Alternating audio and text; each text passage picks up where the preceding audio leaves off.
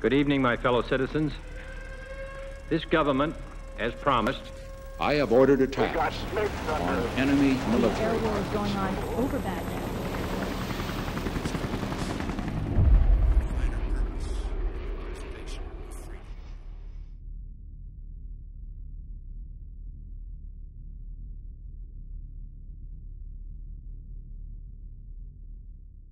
To support this defensive effort by the South Vietnamese, I have ordered attacks on enemy military targets in both North and South Vietnam by the air and naval forces of the United States. President Nixon ordered Operation Linebacker, which was a heavy, heavy bombardment of North Vietnam and heavy support of our troops in the South. And so the tempo on that 72 73 cruise was higher than anything I've ever experienced in the Navy.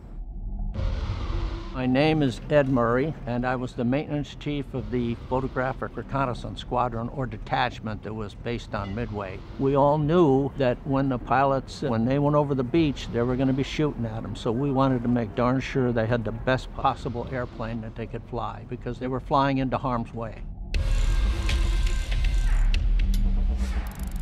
The photo version of the RF-8U Crusader is fitted with cameras. It's built with the cameras inside the fuselage of the aircraft.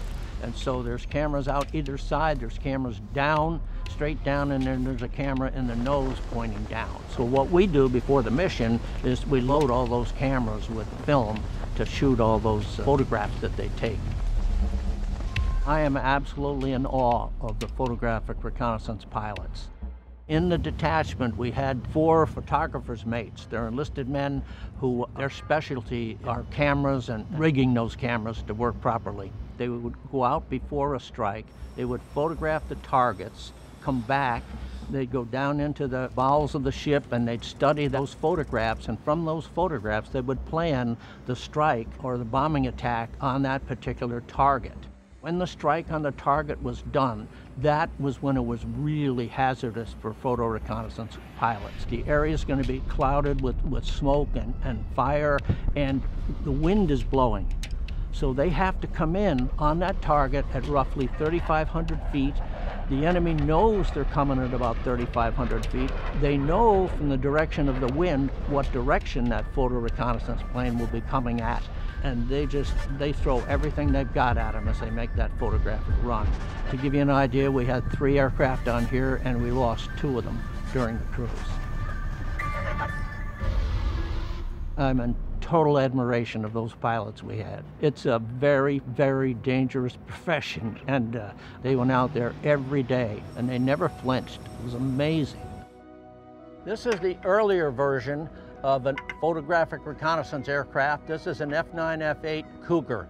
It has six cameras, one camera underneath the airplane which photographs the earth vertical, four cameras on the side, two on this side and two on the other side that photograph horizontally out from the aircraft.